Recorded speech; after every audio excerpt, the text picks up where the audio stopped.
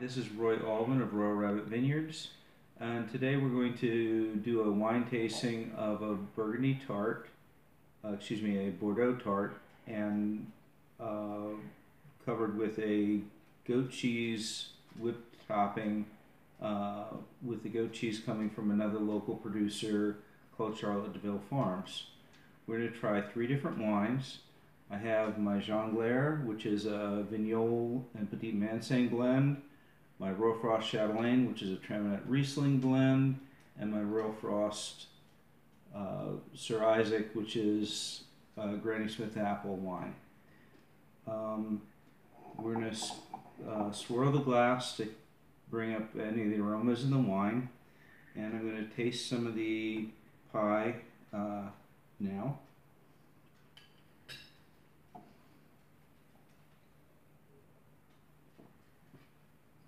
And normally the Jongleur is very tart, which is nice, even though it is a sweet wine. But uh, with the apple, it has a lemony flavor, which is very nice. So it's a, a positive pairing with the with the apple tart.